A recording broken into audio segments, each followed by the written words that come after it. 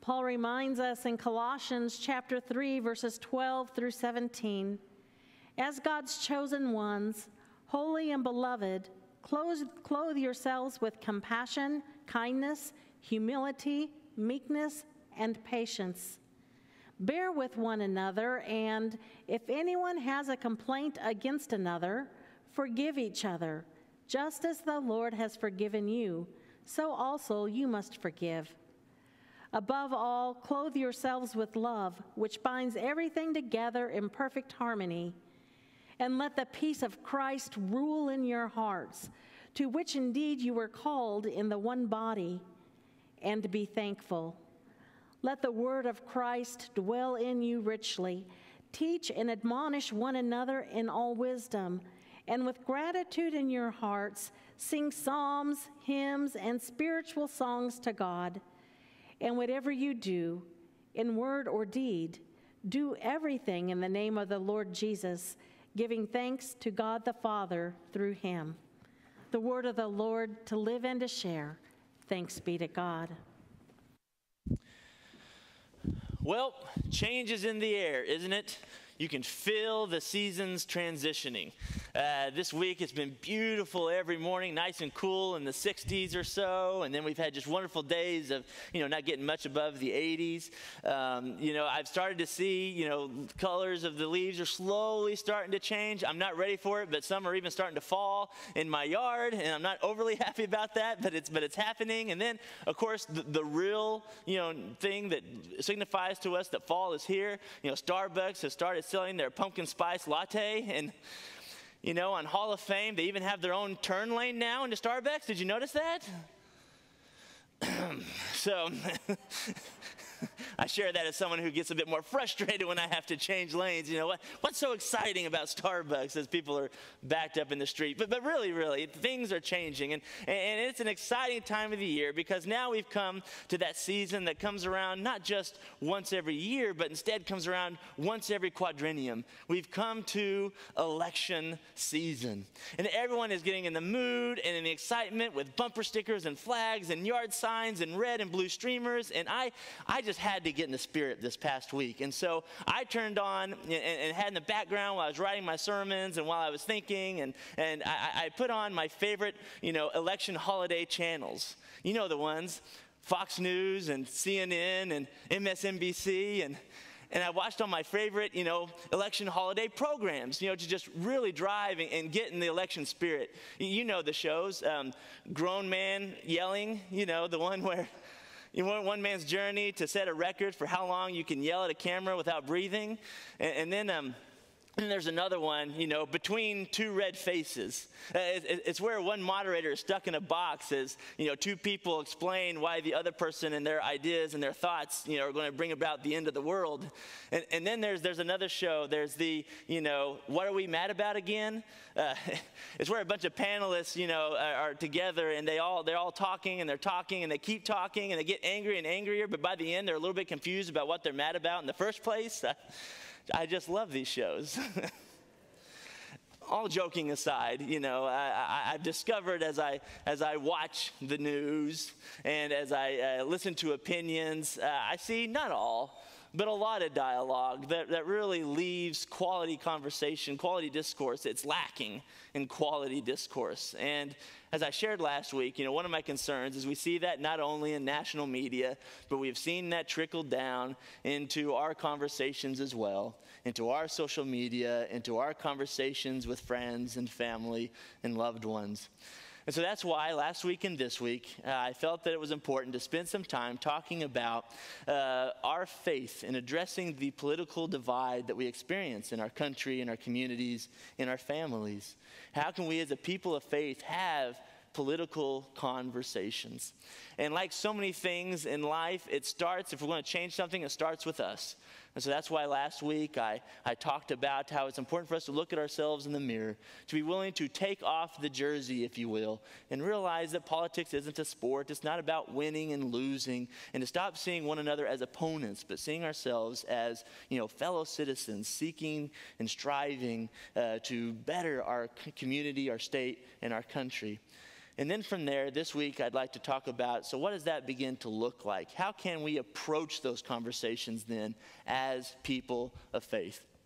In case you didn't listen to last week's or you weren't with us, uh, you can go back and find that online. But I do just want to make again a quick disclaimer that I will not be telling you how to vote or who to vote for or what party you support or what policy you should support. I won't be telling you how I vote or what policy or parties I support. Uh, there's legal reasons for that, but also um, I want to be your pastor. And I wouldn't want to do anything to offend you all. And, and, and I wouldn't want to do anything to make you feel like you were any less valued to me or any less valued to God. And I know that, that you all all take that serious. My parents take that serious. I talked about them at the beginning of last week's sermon, and now they're sitting in the front row this week. So, you know, at 35, they're going to make sure they still have that chance to be in eyes range, you know, and give me that look if I need to go a different direction. No, all kidding, really. I, I, do want us to be able to talk about this serious conversation. How do we, as a people of faith, address the political divide in our midst? So, as we begin, let us do so with a word of prayer. Gracious and loving God, I do give you thanks for this chance we have to come together as, as friends, as family, as a church community, and to ask questions about how can we discuss very serious and difficult topics such as politics and do so in a way that glorifies you. And so, God, I pray that you would be present with us as we gather together remotely and in person. May you be present with each and every one of us. Pour out your Holy Spirit upon us. Oh, Lord, fill me with your Spirit. Use me as a vessel. Speak through me to share with each of us your message of truth and grace this day. Amen. So, first of all, I think it does begin with where we ended last week. We ended last week by, I hope, establishing and stating that our one true foundation, the only thing in our life that, that has earned and deserves our complete loyalty and complete dedication, isn't a politician or a political party or a specific policy. It's our, our, our Lord Jesus Christ. That Christ is our foundation. And, and I think when we're able to start with that, as we begin to approach conversations with others, we do so with a completely different mindset. Because if we're willing to approach others acknowledging that I'm not defined by my politician, I'm not defined by my political party affiliation, I'm not defined by a specific policy I support, when we disagree, then I'm not going to take it as personal because you aren't attacking me personally. We just disagree on a specific topic or who we support. It's not something that I can should, you know, get as angry and, and upset about if I am not defined by who I politically support. But so why have these conversations? I know some of us, we might think to ourselves, you know, why can't we just follow that rule that so many of us follow at family reunions? You know, just don't talk about politics. You know what? Why should, be willing to, why should we have those conversations? Well, first of all, I do want to acknowledge if there's anyone in here or listening right now who, who has previously, currently does, or will at some point in the future serve as an elected official, there's obvious reasons why you need to have those conversations as you seek to understand the will of your constituents, as you hopefully have conversations with other elected officials across, you know, all, all you know, spectrum of, of beliefs and, and, and, and policies so that y'all can together hopefully unite in, in finding and discerning what's best for our community, for our state, for our country. But, but understand that as I'm talking today, I'm thinking more about us, you know, plain Janes and average Joes, you know, as we, as we seek to carry on political conversations conversations, you know, what are some of the reasoning for why we should and, and how we might do so?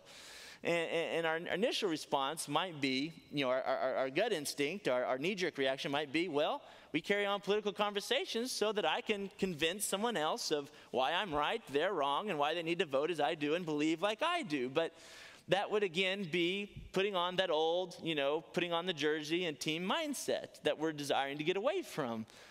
You know, our conversation isn't to convince someone why they're wrong, convince them to join our side, or to convince them to, to, to vote as we do. That would be, again, winning and losing and seeing ourselves as opponents, and you've got to join my team in order to, you know, be correct and to have any value. That's, we want to get away from that.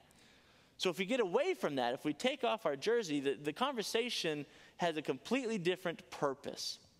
The conversation when we discuss politics with others, be that a coworker, be that a friend, a family member, a fellow church member, when we have a political conversation, the purpose isn't to convince someone to join us, the purpose is to better get to know them, to, to offer a caring and listening ear, and to also allow them to better know us as well, to grow together as a family, as a community, as a society, to deeply care about and get to know one another. So think about how that mindset changes the conversation completely.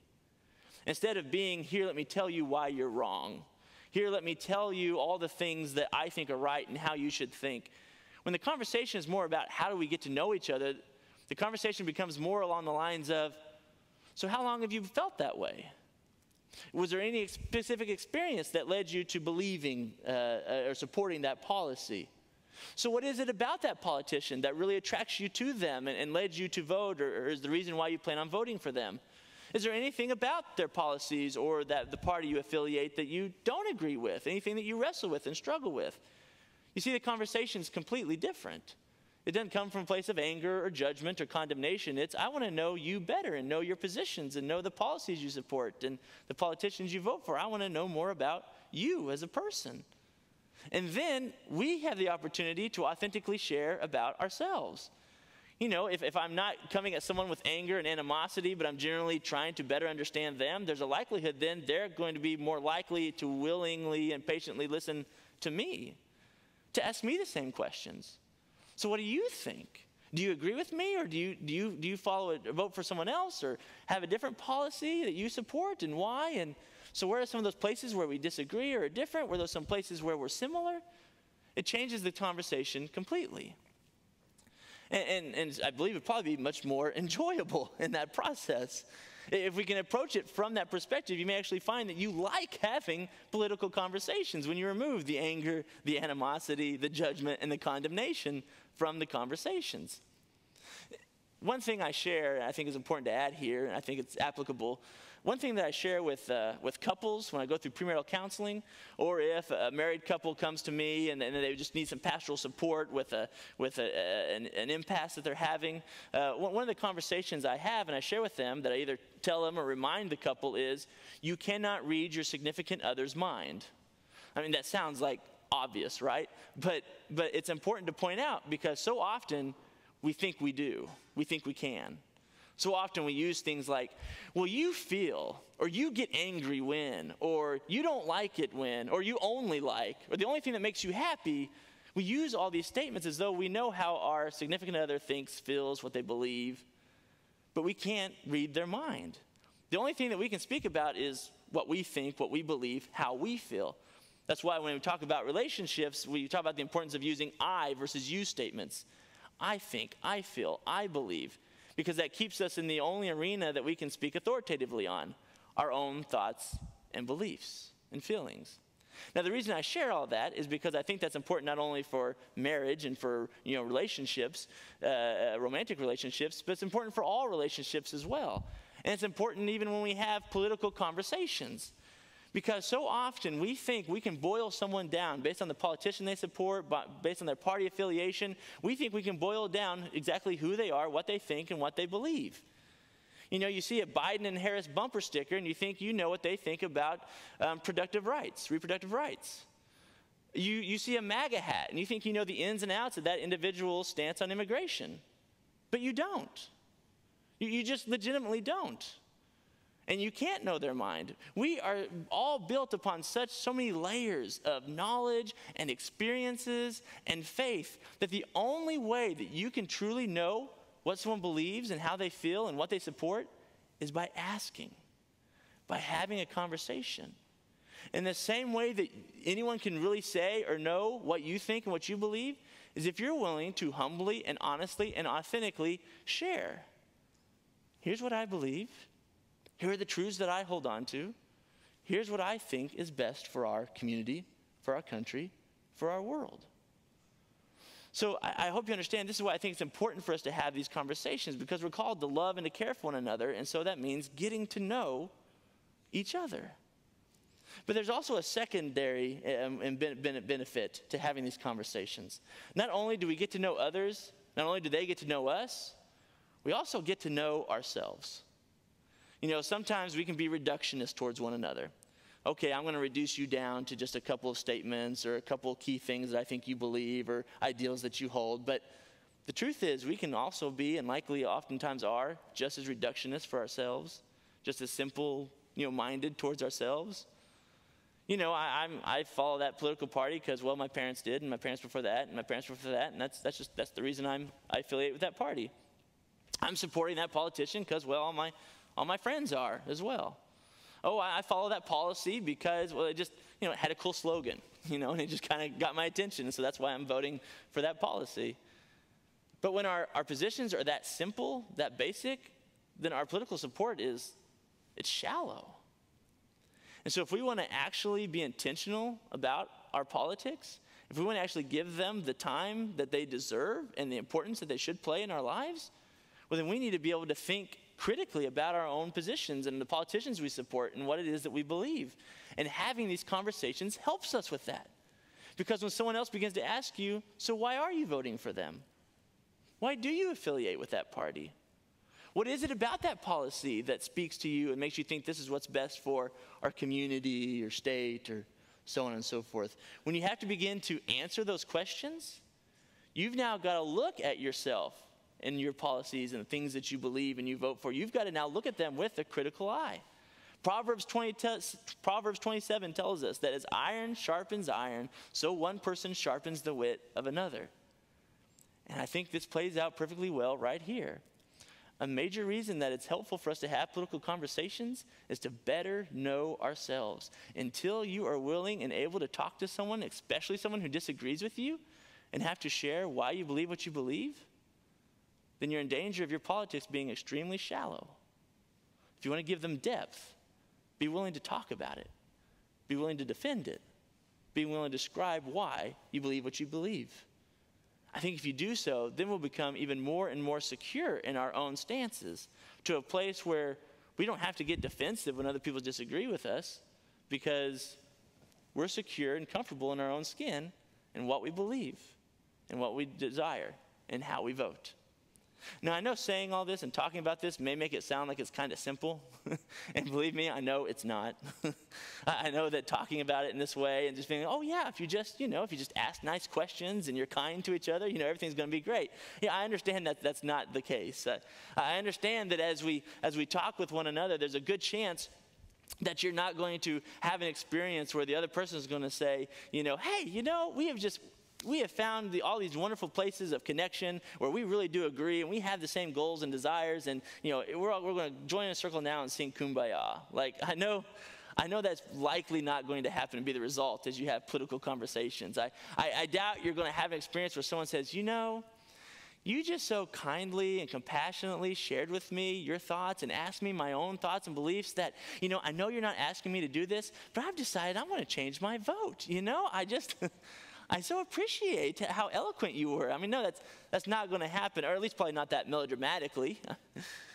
but, but, but hopefully there will be places where as you carry out these conversations, you will find some connections. You will find some, maybe one or two points of agreement. You will find that you have similar, similar goals and desires. And, and, and at the very least, even if you still find yourself disagreeing with each other, which is probably very likely, at the very least, you will have become more comfortable in your own thoughts, feelings, beliefs, and why you vote and practice politics the way that you do. But I want you to know these are going to be difficult conversations, but these are difficult topics. These are important topics. Why would converse about that, conversing about them be easy?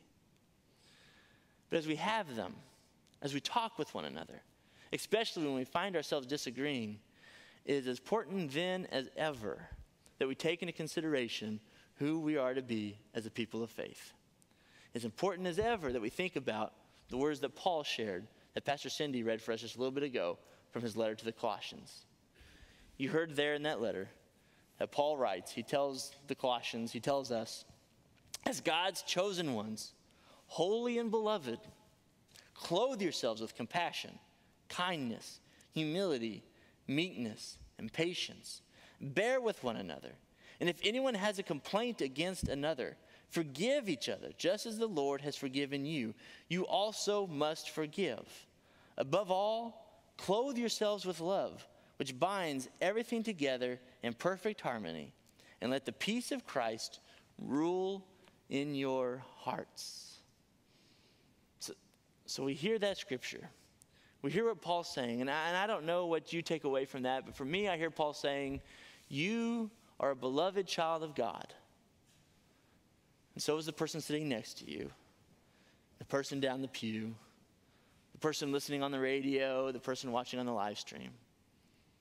So is the Republican, so is the Democrat, so is the person who doesn't vote and doesn't care. Everyone, each and every one of your beloved children of God, start to see each other through those eyes. See one another as God sees you and share one with one another. Clothe yourself with the love of Christ and share with one another the grace, the forgiveness, the humility, the peace that Christ has shown you. You know, for me, one of the main reasons we probably don't have these conversations is because we're afraid. So we're afraid. I don't want to be judged. I don't want to be condemned. I don't want to say one little thing wrong and then everyone jumps on me for it. I just don't want to.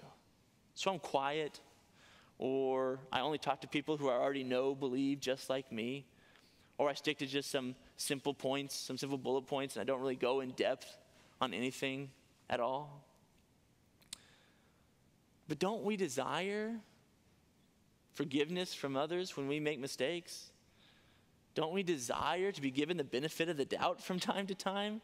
Don't we desire to be given the space to think about and to work through and to articulate our thoughts and our beliefs? Don't we want that for ourselves? If that's the case, we've got to be able to offer it to others as well. As with so many things, we can't control how others act and say what they say and what they do. We can only control ourselves. And if we want a better dialogue, if we want more compassionate, grace filled, and peaceful conversations for the betterment of our community, for your family, the betterment of your place of work, the betterment of your social media, it's got to start with you. And for me, that means we have to see each other, especially those who disagree with us. We have to see them as beloved children of God. And we've got to be willing to give them the benefit of the doubt. We've got to be willing to give them grace and forgiveness. We've got to be willing to give them the space to articulate and to work through their thoughts before we jump on them for every little thing they do wrong. Yes, it's important to hold each other accountable, but at the same time, it's important to share with one another the grace and love that Jesus has shown us. That means when you look at that politician that you are not going to vote for, when you think about that other political party, when you think about that uncle who you vehemently disagree with, you've got to see them as a child of God. You have to choose. It's a choice. You have to choose to believe that they also love this country and her people. You have to choose to believe that they also want what's best for each and every one of us. You've got to give them that benefit of the doubt. You got to be willing to hear them out and show them the grace and love of God. If we can't do that, then we have no hope of changing the discourse in your family, in your community, in the world around us. And I'm going to stop there. I think we could go on and on, and we could do this for weeks. But that'd probably be my last piece of advice. Don't talk just about politics. Like I'm telling you, I'm telling you to be sure to go out and have political conversations. Don't be afraid with them. And, you know, enhance the dialogue and the conversation that's happening. But at the same type, time, also have other hobbies and talk about other things. And I know that there's more that we can say, but maybe I'll come back and we'll talk some more about it in four years. But for now, I, I hope that this isn't an end point but I hope it's a good starting point. I hope you've got a few little nuggets that you can hold on to, that you can mull over, that you can pray about, so that then you can maybe say, okay, this is important. It's not what defines me, but this is important. And so I'm willing to step in there in faith and to have grace filled conversations about the politics and the direction of our country, our state, and our community because that's who I'm called to be as part of the family, as part of God's creation. So, to recap, take off the jersey. This isn't a sport. We aren't on different teams. And make your foundation Jesus Christ above all else. Do not make a politician, a party, a policy. Do not make that your foundation. Christ is your one and only foundation, and build everything upon who He calls you to be. As you enter into these conversations, Do so not to win someone over, but to get to know them, to know what they believe and what they think and why. Be willing to humbly and honestly and authentically share who you are as well. In the process, you just might strengthen and secure your own political beliefs, not so that you can harden your heart in some way, but so you can become more comfortable in your own skin and what you believe and why you vote. And make sure that in all things, clothe yourself with Christ, so that flowing through you is His grace, His forgiveness, His compassion, His love, all the things that He has shown you. Be willing to show them to the rest of God's children no matter their party, no matter who they vote for, no matter the policy they support. If we can do these things, no, we may not impact the national debate and discourse, but I think you can improve the quality of conversation in your social media, in your place of work, and you maybe even around your Thanksgiving table. think about that. If with grace and love and kindness, you could talk openly and honestly with those that you love the most. Wouldn't that be something to strive for?